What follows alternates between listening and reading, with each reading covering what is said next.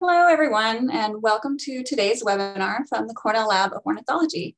We'll be hearing from Gretchen Newberry about her research with common nighthawks. My name is Robin Bailey. I'm the project leader for the Cornell Lab's Nestwatch program, and I will be facilitating today's conversation. Today's webinar is hosted in Ithaca, New York. I would like to read a statement acknowledging the indigenous people as the original inhabitants of this area. Cornell University is located on the traditional homelands of the Gayakono people. The Gayakono are members of the Haudenosaunee Confederacy, an alliance of six sovereign nations with a historic and contemporary presence on this land. The Confederacy precedes the establishment of Cornell University, New York State, and the United States of America. We acknowledge the painful history of Gayakono dispossession and honor the ongoing connection of Gayakono people, past and present, to these lands and waters. A couple of technical notes for our audiences on Zoom and YouTube. Closed captioning is available on Zoom. If you'd like to turn captions on or off, please click the captions button at the bottom of your screen. If you don't see a caption button, click the three dots that say more. For those watching on YouTube, you can click the CC button at the bottom of the video to turn on the captions. To ask our panel questions, um, please use the Q&A feature. Um, if you don't know where the Q&A feature is, look at the bottom of the Zoom panel and don't use the chat for the questions. We won't be monitoring the chat, so please use the Q&A button to type your question. Please only use the Zoom chat for technical support. If you're watching on YouTube and you'd like to ask the panel a question, you'll need to subscribe to the Cornell Labs YouTube channel click the subscribe button under the video. If you're not logged in with a Google account, you'll be prompted to sign in first. My colleagues will be helping to answer questions and share information in the chats for both Zoom and YouTube. Okay, let's get started. Welcome, Gretchen. Um, one of the reasons I invited Gretchen to speak to us today about common nighthawks is because they are a type of specialized forager called aerial insectivores. This just means that they primarily eat insects on the wing, similar to swallows, swifts, and martins. As we'll learn about in a short while, many species in this group have been exhibiting population declines over the past several decades. Crepuscular and nocturnal aerial insectivores are even less understood than their daytime counterparts, which is why we're so lucky to have Gretchen here to help shed some light on this subject. Gretchen Newberry earned a PhD in biology from the University of South Dakota, where she studied common nighthawks.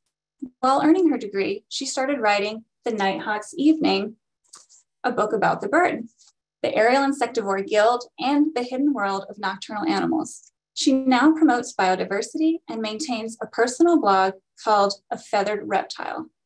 Thank you for joining us, Gretchen, and take it away.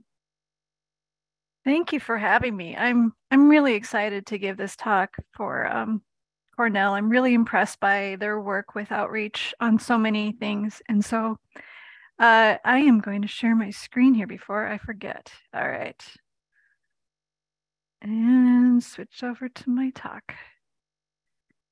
Yeah, so I studied nighthawks for six years in South Dakota. I went there to study nighthawks in grasslands. I am from originally Minnesota and I love grasslands. And what's interesting about um, about the grasslands in eastern South Dakota and Minnesota, where I grew up, is those grasslands are disappearing. And so my study became about something different. And I think kind of something more interesting, as I hopefully you'll see. So this is the call of the nighthawk. Um, maybe you've heard this call around sunset. Um, I've heard from people who hear it a lot that it keeps them up at night. You might see this in urban areas, beaches, open forests out east. Um, the Pine Barrens in New Jersey is sort of a famous place for them, or in the sagebrush out west but maybe less and less as the years go by, especially in the East.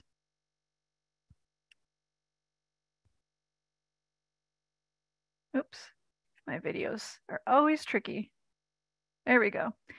these are migrating nighthawks in Wisconsin, where I used to live. Uh, this is along the Mississippi River. You see them flying during the day. Um, so enormous flocks uh, travel down the Mississippi River every year. So why are they called nighthawks if they can fly during the day? Well, they are mostly active around sunset, but they are neither strictly nocturnal nor a hawk, that's for sure. And it's becoming less common. So the common nighthawk really has one of the worst names ever.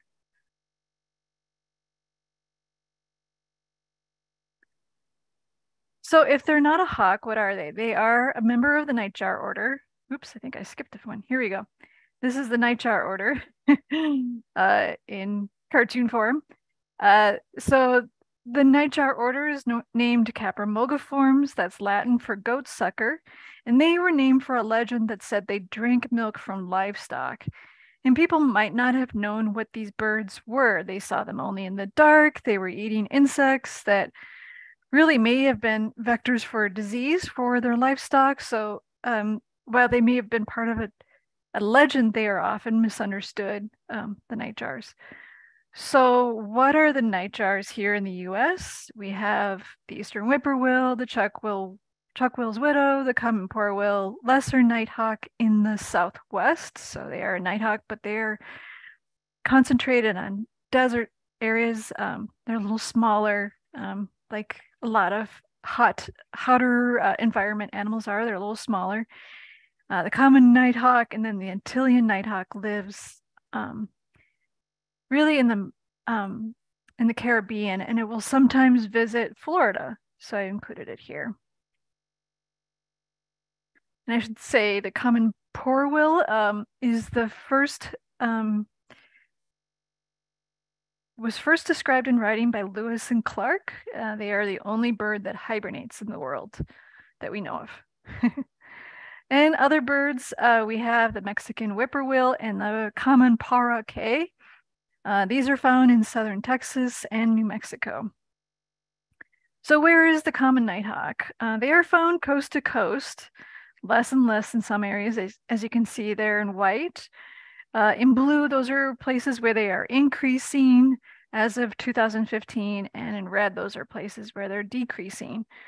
So overall, they're down by 60% since the 1960s, and that's typical for a lot of birds. This is breeding bird survey data.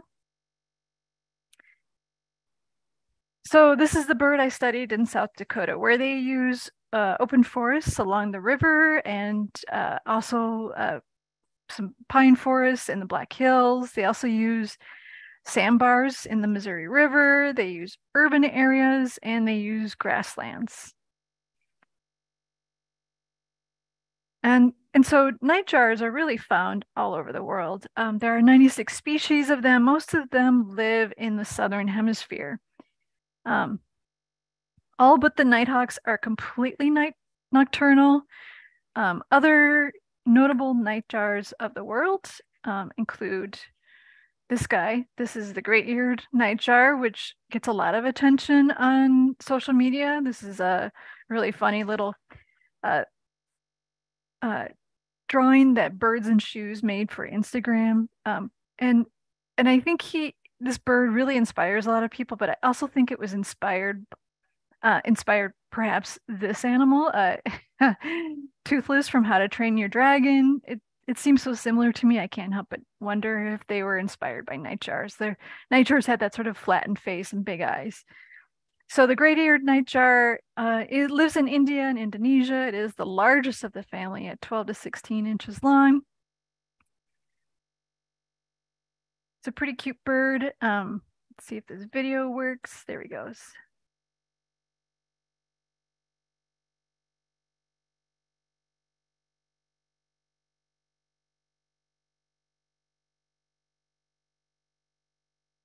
Hey, Gretchen, I just wanted to pop on and say that the sound isn't being shared. Oh, it isn't? No. So maybe if you stop sharing screen and pop it back up and hit the share sound, we might be able to troubleshoot that. I am so sorry about that. That's okay. The audience just really wants to hear the bird. Try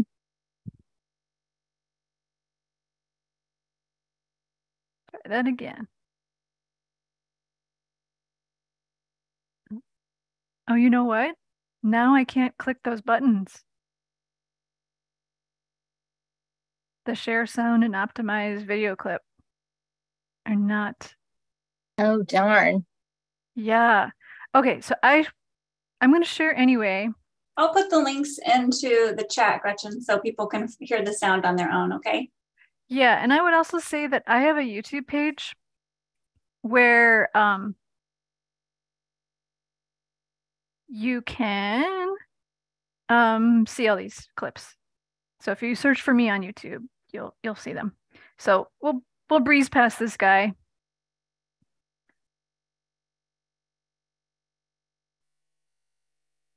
For some reason this bar for Zoom is in my way. Okay, here we go. Okay, so also we have the common potoo. Um, I recommend following the nightjar hashtag it in whatever social media you use. Uh, it's on, not only fun stuff like this, like the common potoo, which looks like a muppet, right? Um, but the beautiful diversity of nightjars all, all over the world. Um, so, uh, he also has a pretty weird call that common potoo, and he's not an owl. Uh, that video describes it as a potoo owl. Anyway, so back to nightjars. I'm sorry, back to nighthawks. so they can live in prairies. So that's the lower left on your screen, open forest on the upper left. That was taken by a colleague of mine, Elly Knight, in the boreal forest um, in Canada. Open for forests like that uh, on beaches even that's on the upper right and then they are also ground nesters but most of my research was on rooftops in places where they can't find an open ground so that lower right picture is something i took on a rooftop um, this is a pair that i studied on a hospital roof in a small town in south dakota uh, but they can use rooftops anywhere as long as they are flat and have gravel to disguise the eggs so um, that's the male that's flying up ahead. And then that is the female down in the gravel. Uh, so you can see the male has that big white throat patch, but it also has those uh, white uh, little bits on his tail feathers. So that that identifies the male. So this is me doing uh, some surveys on these rooftops. And what's interesting is when you do these surveys, you're you're walking along and all the gravel looks alike, and then all of a sudden you see this skittering of feathers across the rooftop, and you might be tempted to follow those feathers, but really what you have to do is train your eye on exactly where they came from, because that is where the eggs are. So on the left, that's me um, approaching a nighthawk. That's about as close as I ever got uh, to one before it flew away. Okay, so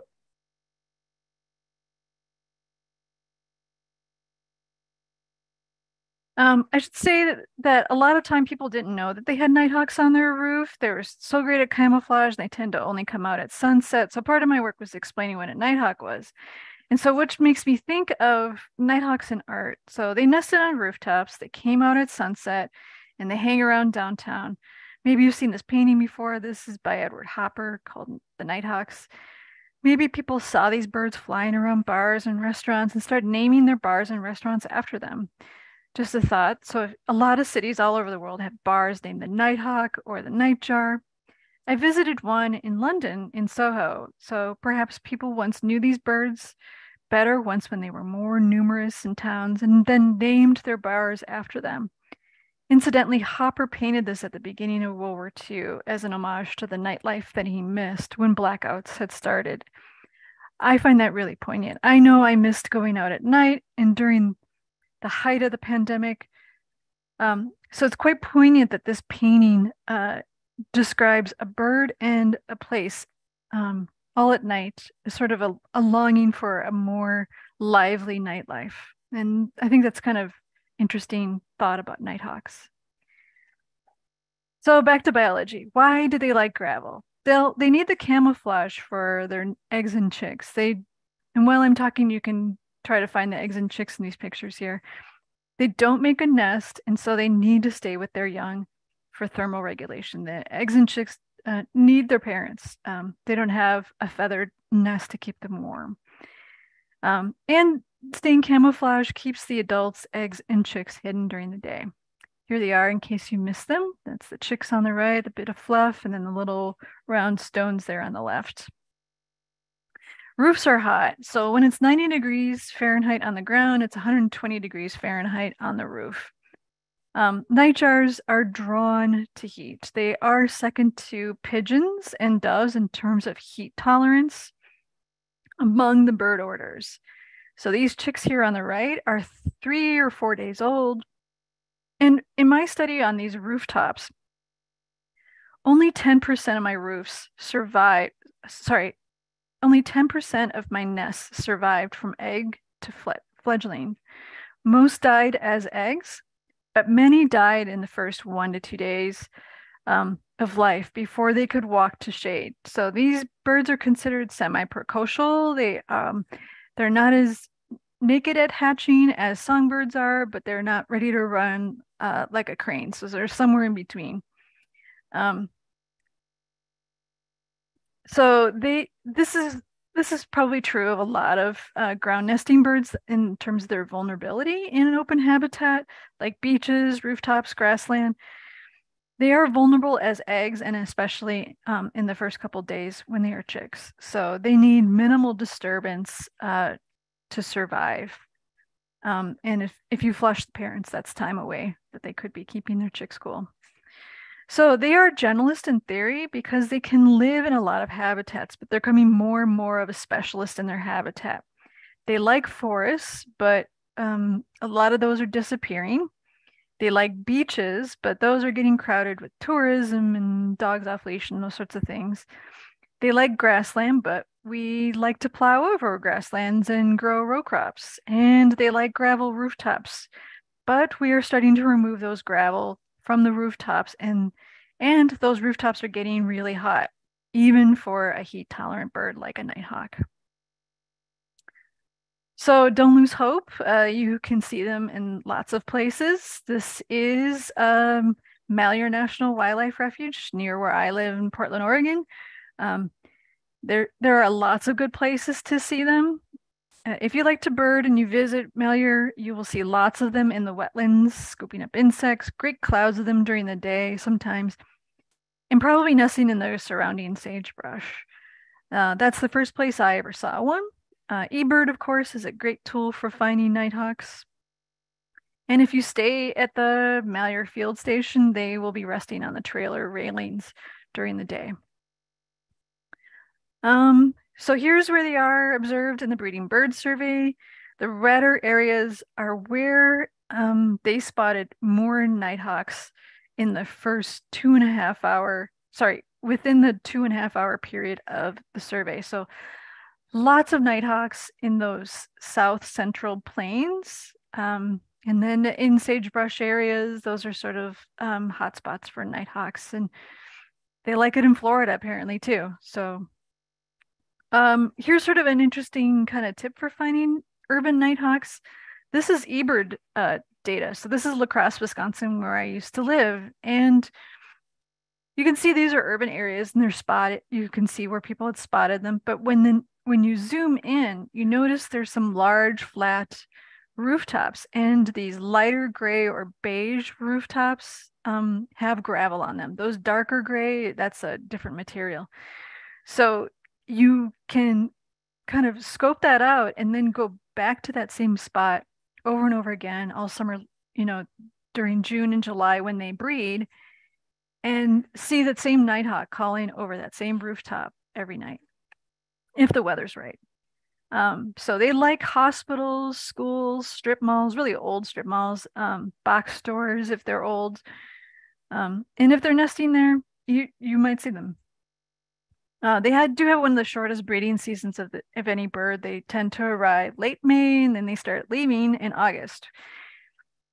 All right, cool facts about nighthawks. They have really short legs, and so they walk around really clumsy like this. Um, that in they're they're just not built for walking. Um, they are built to fly, and they eat insects, which allows them to eat while they migrate.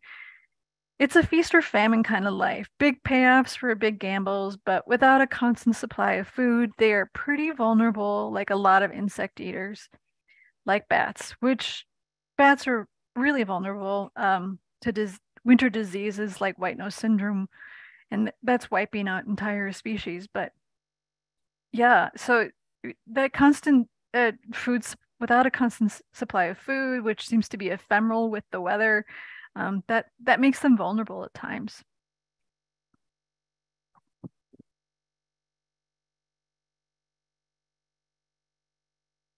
So um, what you don't hear is at the bottom of that dive there was a whirring sound, and and that is where they spread their feathers, and uh, wind rushes through their feathers, and so this is called a boom call. And they use this to to uh, establish their territory. They might boom call over and over and over and over again.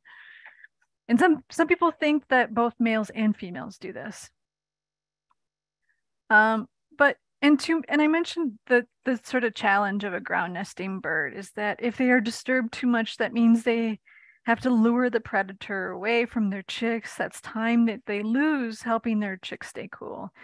And their chicks are more exposed to the weather than cavity or tree nesters, and they are especially vulnerable in the first couple of days because um, they're not mobile enough to find sh- shade or sun to counteract the sun, wind, or rain, or whatever the case may be. In addition, every instance of stress due to interaction with a predator, whether that's um, people or your very friendly dog, uh, activates their, their stress hormone uh, system. So it activates the hippocampus, and then that sends a signal to the pituitary and the adrenal stress hormone pathway that diverts resources from building fat and tissues to grow strong enough to fly away and live independently for a few weeks until they have to migrate to South America. Everything's on a very short timeline with nighthawks. They live on the wing, they don't have a lot of time for this. So, um, what they do have a lot of is a lot of attitude. Uh, they have puny bills and claws, so even their chicks have to have a lot of attitude if they're discovered. Um, but they don't they don't have any weapons to back that up. Have you noticed that big mouth? Uh, he's built to fly around and eat, and he has that big mouth to dissipate heat. So a lot of cooling uh, air can move through that big mouth of his and help him stay cool. So he's pretty great at it, and even if he's struggling, it's it's kind of weird. Um, Let's see. So females can be a little aggressive in their own way at the nest. This one is uh, sort of making a rasping, a clicking, and a squeaking noise all at one. She was doing this repeatedly while I was measuring her chicks. Um, and they like to use this broken wing routine to sort of attract my attention, like the killdeer neighbors that they have. Um, they also like to lure people away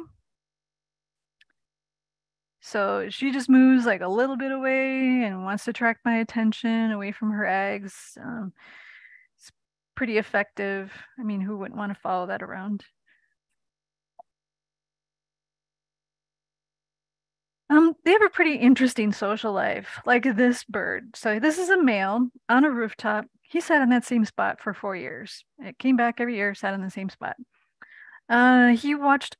He lived on a very large roof this is where he sat. Uh, he was very vigilant. He sometimes met me at the parking lot and let me know that he was not happy to see me. Um, this is a, a, a school, so there are a lot of students running around during the summer doing sports, and he he didn't care about them, but he knew me because I'm the person who comes on the roof and harasses his birds, his females and his chicks. So um, it's pretty interesting that he recognized me every time.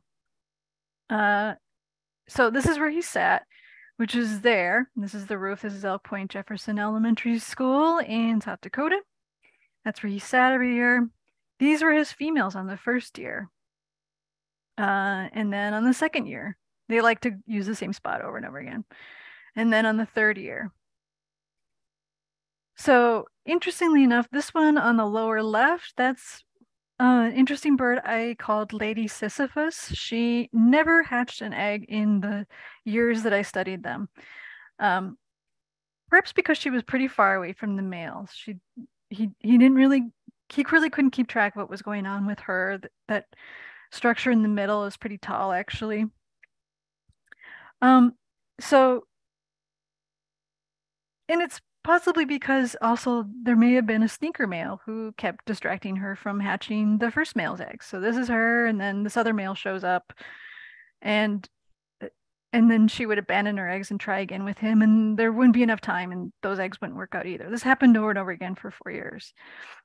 So sneaker males are really interesting in ecology, and the classic study are elephant seals. So here we have this big male and a big harem, right? And then another male shows up and wants to fight, and that while that's going on, this guy shows up. I mean, look at him; he's pretty sneaky looking. Um, interestingly enough, this only works out like 10% of the time. So the sneaker male, you know, like 10% of the time manages to mate with a female and um and then she'll like give up on her uh, young and start up with this new guy.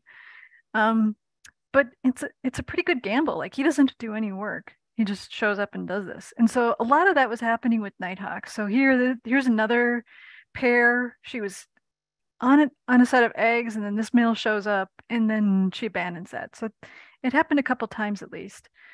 But males are really beneficial to nighthawks. So here we have the male with the big white throat patch.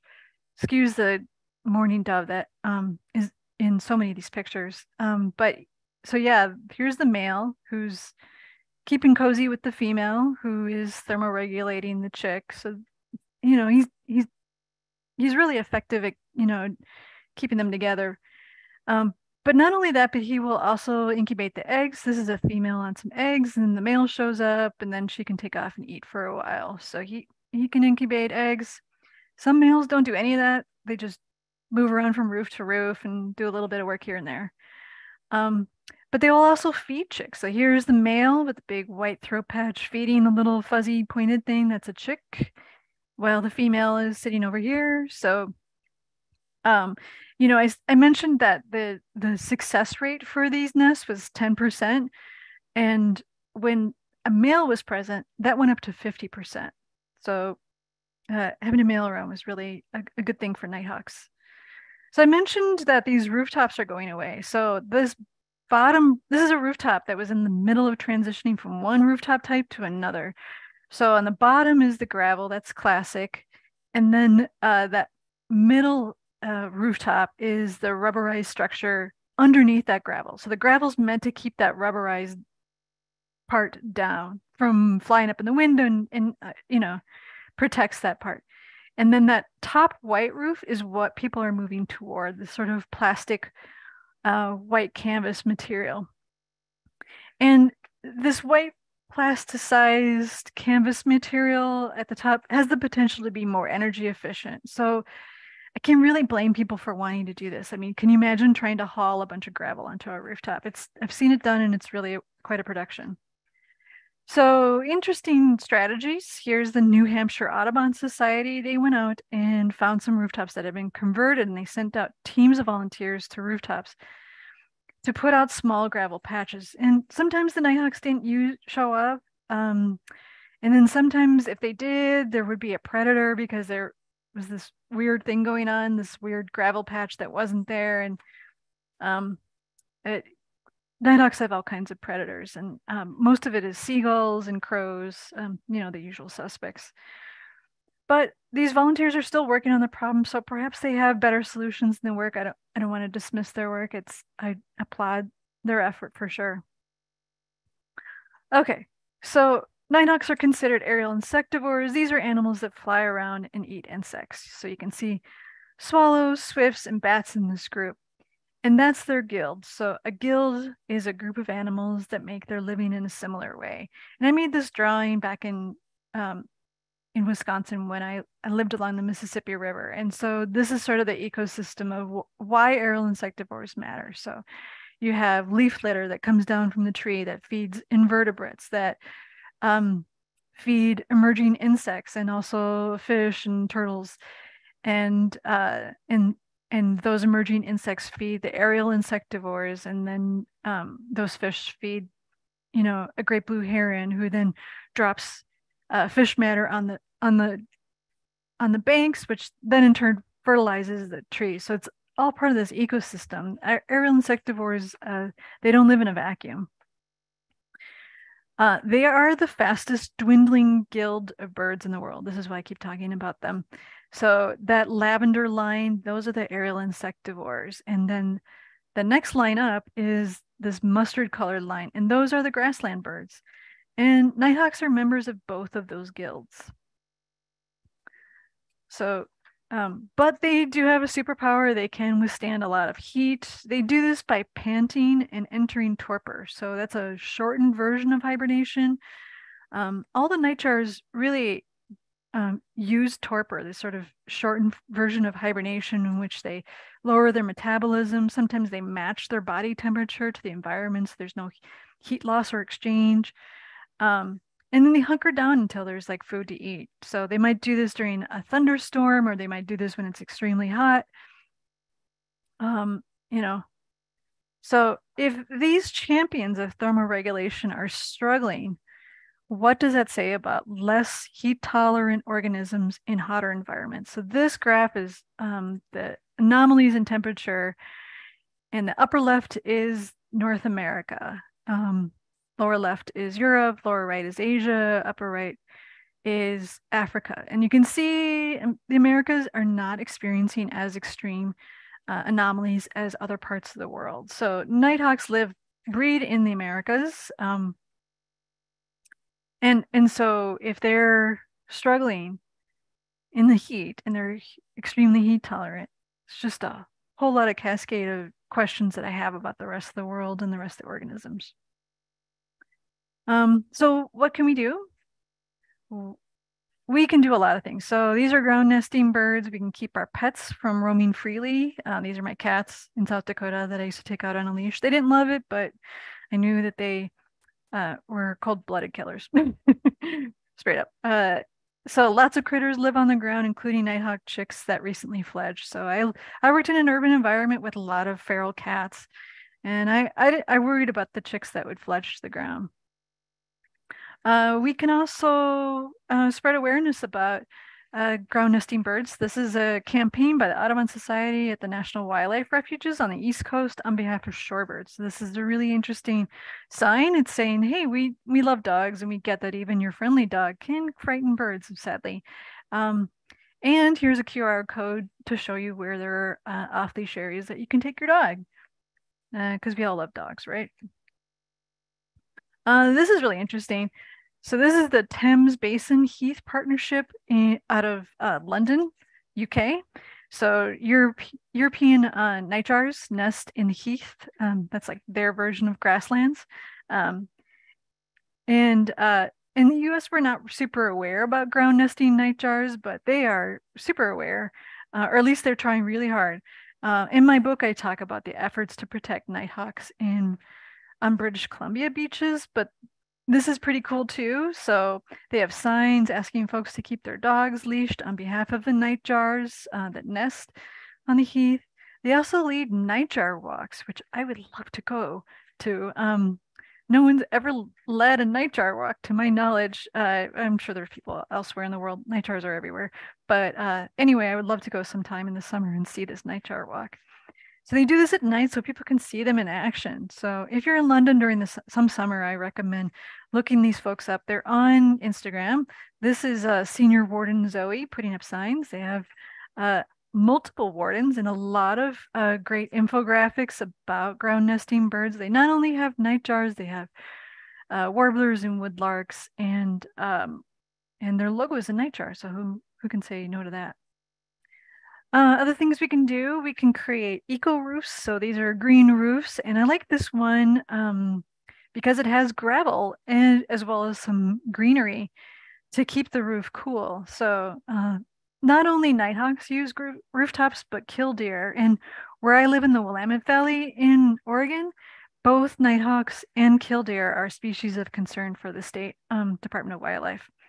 So and and and the fact that they're both on that list says a lot about grassland being gone and then these birds moving onto rooftops to replace that grassland habitat. We can also excuse me conserve habitat when we can. This is a map of the missouri river where i studied uh, nighthawks. In the 1890s uh, that upper uh, map. That's the 1890s with lots of um, sandbar in uh, that light beige grassland and green, and then the forest in dark green. And then the the lower map is the 1950s onward. That dark beige or darker beige that is row crop agriculture. So you can see uh, what is happening to grasslands in a lot of areas.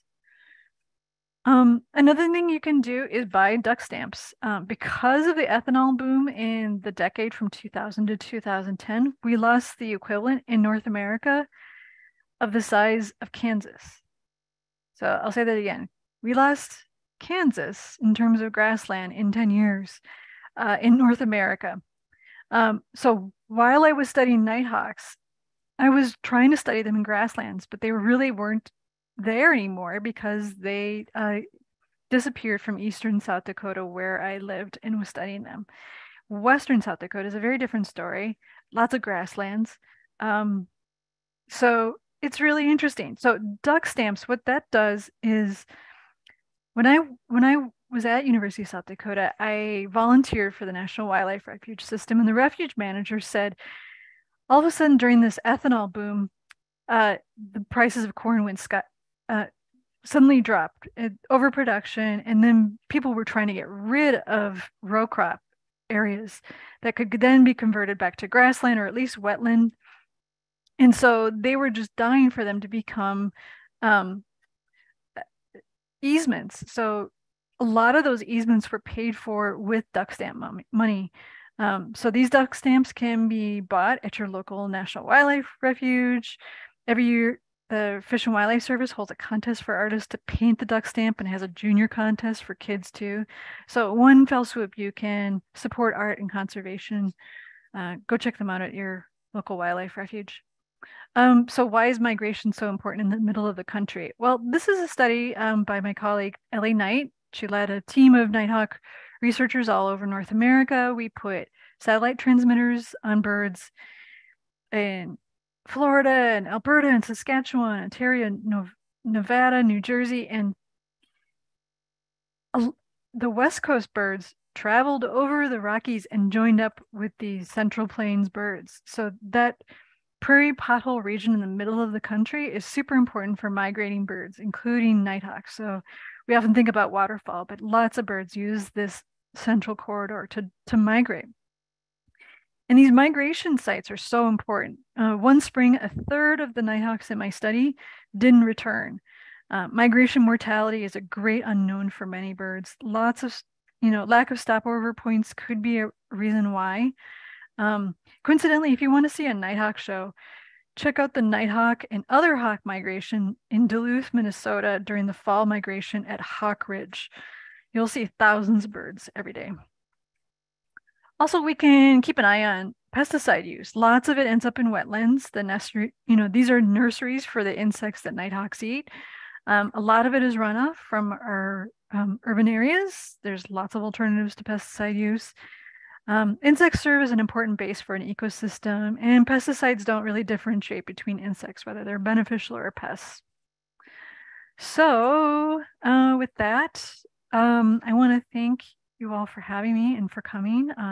Super excited that I got to talk about Nighthawks. Um, I have a book. It's available in bookstores, libraries, and on Kindle here in Portland. Uh, it's sold in the Powell, the Big Powell's bookstore here in Portland. Who filed them under raptors? Sorry, I just have to point that out that they are not a raptor.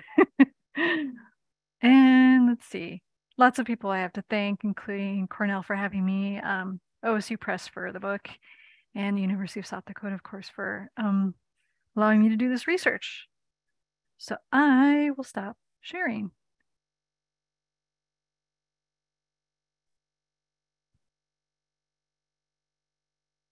Thank you, Gretchen. That was wonderful. Um, we had so many questions come into the Q&A while you were speaking, and I've try to condense them as best I can. And so let's just jump in and ask some audience questions. How about that? Great. Sounds okay. Good. One common question was um, when nighthawks are not nesting on rooftops and when you see them outside of the city, what kinds of places are they nesting on in grasslands like forests when we know there's we see them not in a city area? Yeah, they well they will find gravel um, even in a in a forest. So like an open forest, they really like like little gravelly bits. It has to be pretty open forest because they have long wings that um, and they're pretty clumsy in in tight spaces. So they have these sort of giant seagull wings and like a little dove body. So um, they're really acrobatic in the air, but they they they can't really handle like a lot of tight quarters kind of stuff. Um, so they love gravel in grasslands, in forests, on beaches, um, anything that matches their pattern and the pattern of their eggs. That's so interesting. Um, you talked about this a little bit, but um, another question that we saw was um, given their habit of nesting on rooftops, are nighthawks experiencing nesting fatalities due to increased temperatures? Yes, I definitely found that. Um, yeah, I, I found like the greatest source of their mortality was uh, unhatched eggs. So they just cooked in their shell, and that was that was the end of it. Um, but I did collect a lot of those eggs and use them for a genetic study. So it it it didn't go completely to waste. It was pretty sad sometimes, but and then occasionally chicks would die in the first couple days because they couldn't find shade. They weren't very mobile. There was some sort of disturbance where their parents couldn't hang around. And as a follow up to that, one person did mention, you know, whether there could be some kind of shade or shelter provided for the chicks. And you sometimes see that with beach nesting birds, like a little shade platform that they can get under and hide. I don't know if anybody's ever thought about that for nighthawks or if that would work, but that was a suggestion. Yeah, there's actually quite a lot of places for um, nighthawks to find shade on rooftops. There's all kinds of things on top of rooftops, little transoms and chimneys and things. The problem is they can't walk until day two. And, and once they can, then they're pretty good at finding that. Okay. Um, how does increasing light pollution affect nighthawks?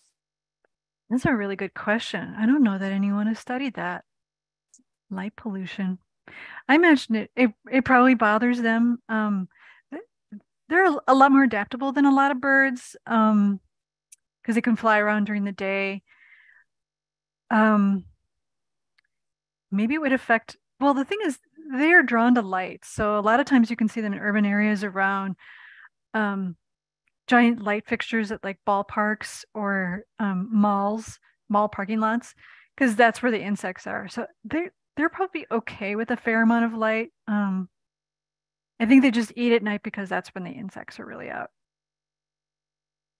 Okay, thanks for that. Um, one person wants to know, uh, well, I combined two questions. Did you observe crows and or gulls predating their nests on the rooftops?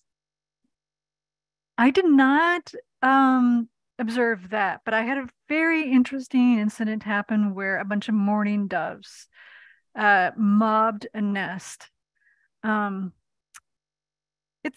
I, sometimes I give talks and I show like the mm. progression of photos where it's like one dove and then another one and then it's like a mob and they're like staring each other down and they look really benign doves. You don't expect them to be predators, but um, they're they're hungry just like everyone else. Uh, so and then you see like the female sort of opening her mouth and flapping her wings and and they don't they can't really physically fight. They can just put on a really good show, nighthawks, and then and the mourning doves just swamped her and then the male shows up and there's kind of a more of a and like a bigger show and then eventually they just both leave because they they just don't have anything to back it up and then when next time i visited that nest there was just no sign of anything no no eggshells no chicks no nothing they just ate it all there was nothing to find and so then i took my camera you know my nest camera home and watched the whole show it was very strange so it's very strange. I've never heard anything like that.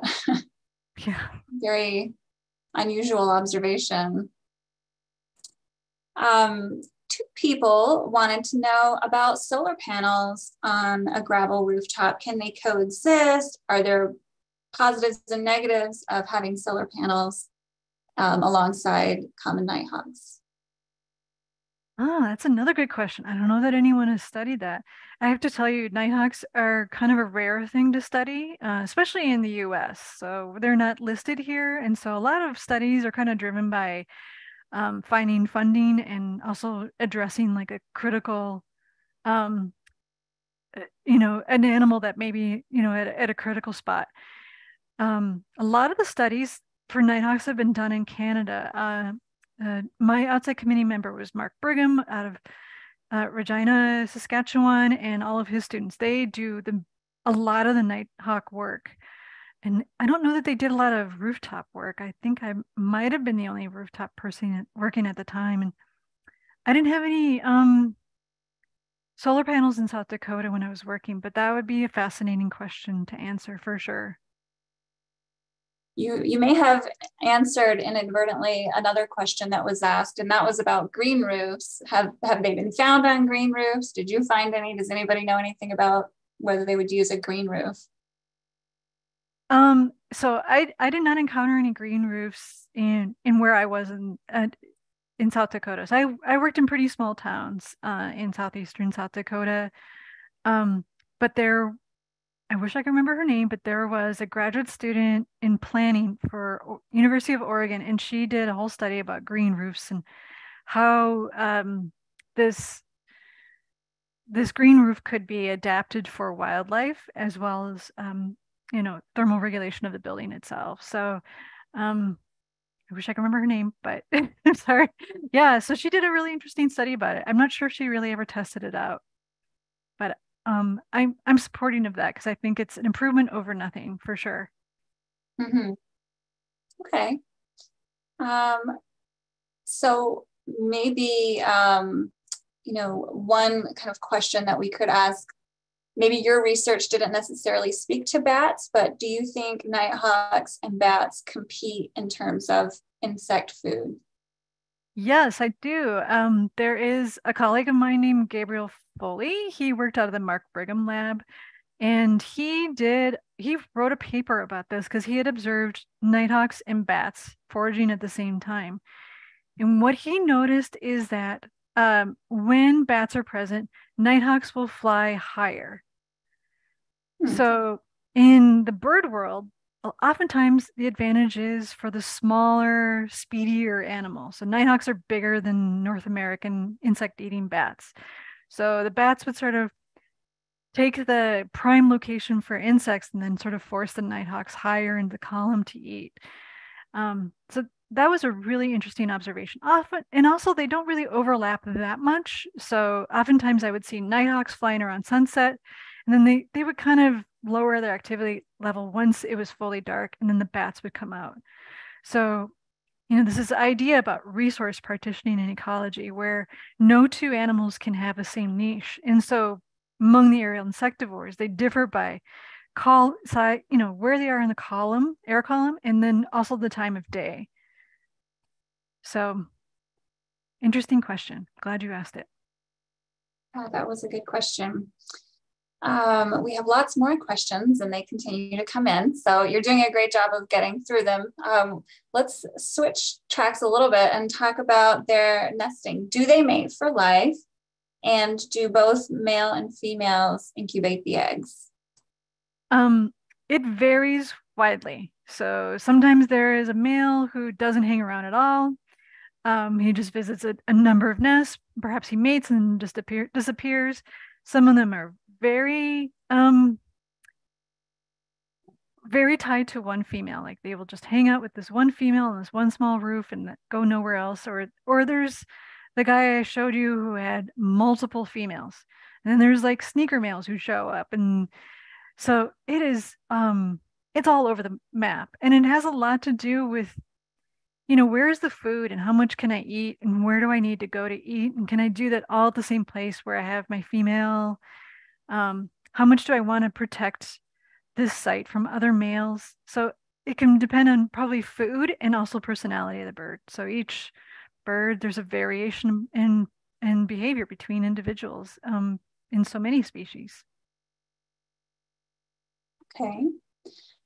How about that camouflage? Does their plumage change based on where and where they are and what uh, region they're in?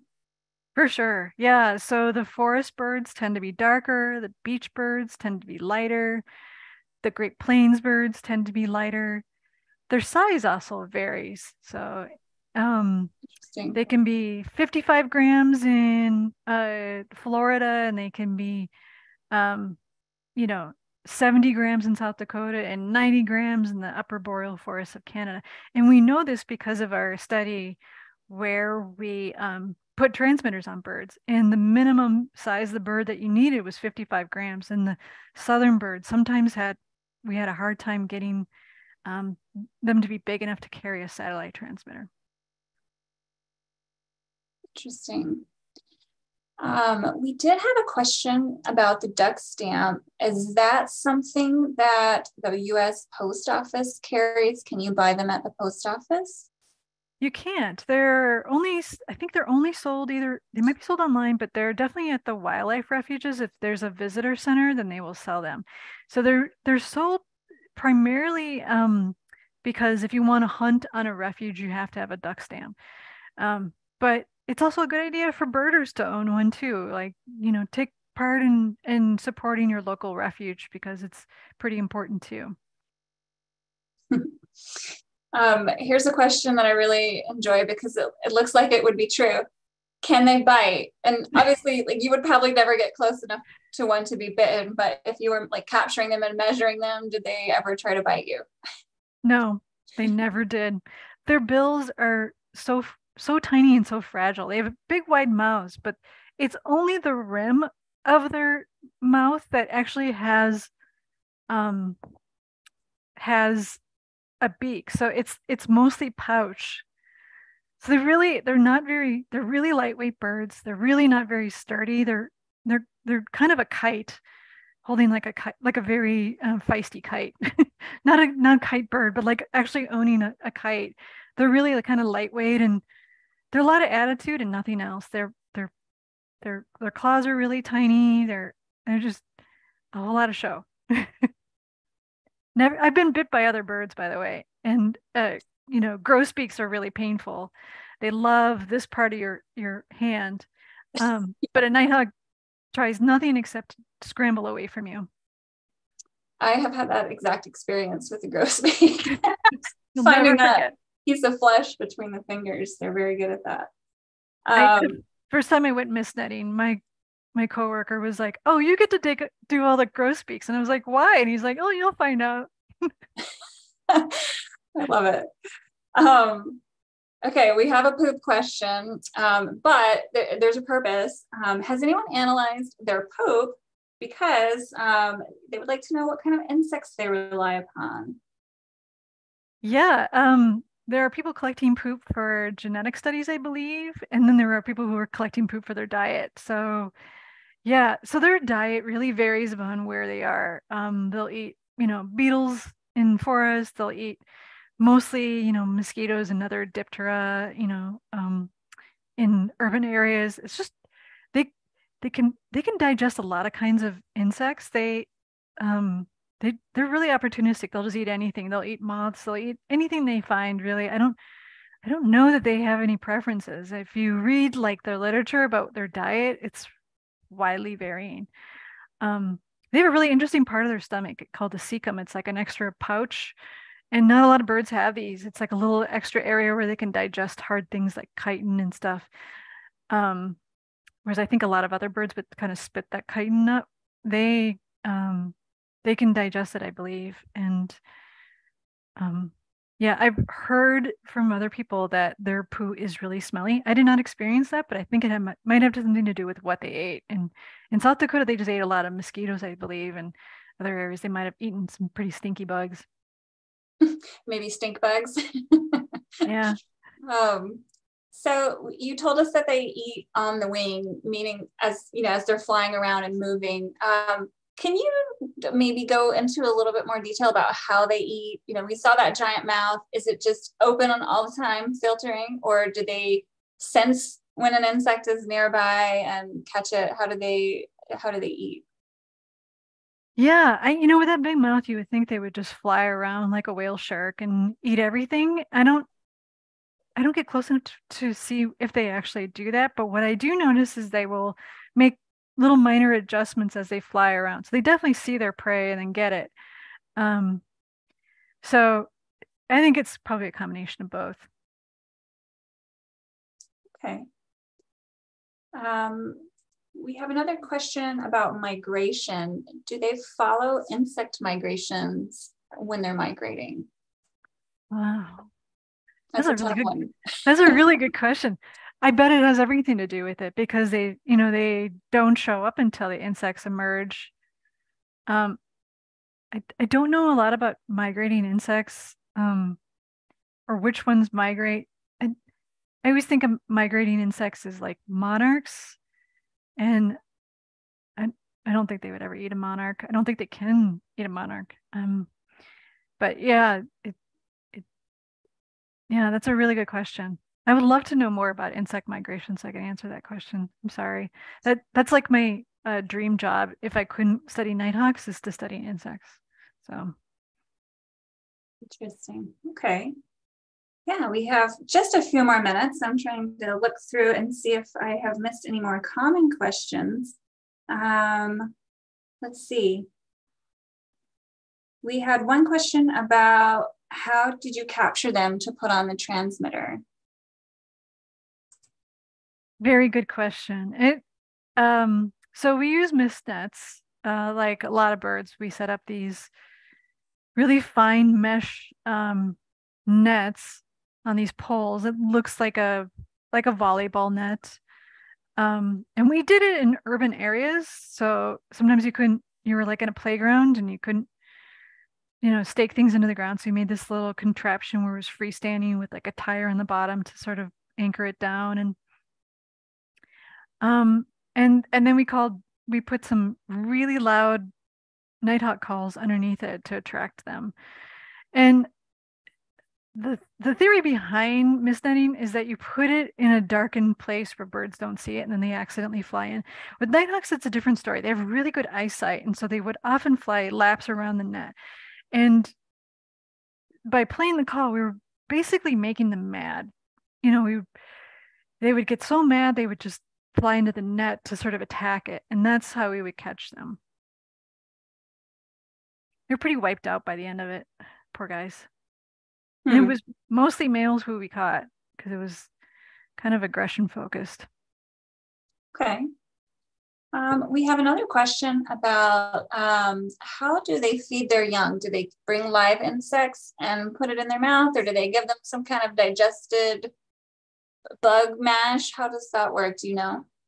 I don't know. I wish I knew. Um, I used to study swallows before nighthawks, and they and they do swallows do like a combination of things. Like they'll go out and forage for a period of time, maybe 10, 15 minutes, and they'll have like partially masticated insects in their throat, and then called a bolus, and then they'll have some live ones sort of hanging out in their bill, and then they'll like slowly stuff, you know, chicks full of both things. And I did this study where I kind of intercepted that and caught the bird at the moment they were about to feed their chick and then removed that from their bill and like stuffed it in a vial to study later.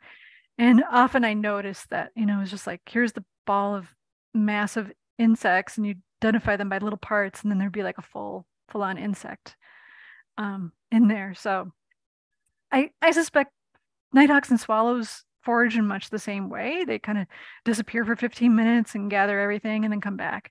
So they might have a combination of dead and life. Okay. Um, and then we had a question that you talked a little bit about, and that was how we can help common nighthawks. And you gave us some great tips like keeping the gravel on the roof and buying a duck stamp and, um, you know, preserving habitat. I also wanted to point out that um, the Cornell Lab has also just recently um, created a guide for how to help aerial insectivores in general. It's not specifically about nighthawks, but it does mention nighthawks. And I'm going to put the link in the chat. And it's called, I think it's called Creating an Insect Buffet for Birds. So this is a, just a quick guide to help, and it's free to download to help you kind of remember some of the things that we can do to help aerial insectivores because it can be a bit challenging to for you know for us individuals to help them um, you know because they do eat those flying insects and we need to be having insects for them. So with that um, we are at eight o'clock uh, eastern time. So that's that we've reached the end of our hour And I wanted to let everyone know that I'll be emailing our attendees tomorrow with the recorded webinar and all of the resources we discussed. Thank you again so much, Gretchen, and to our audience for such great questions. And have a great evening, everyone.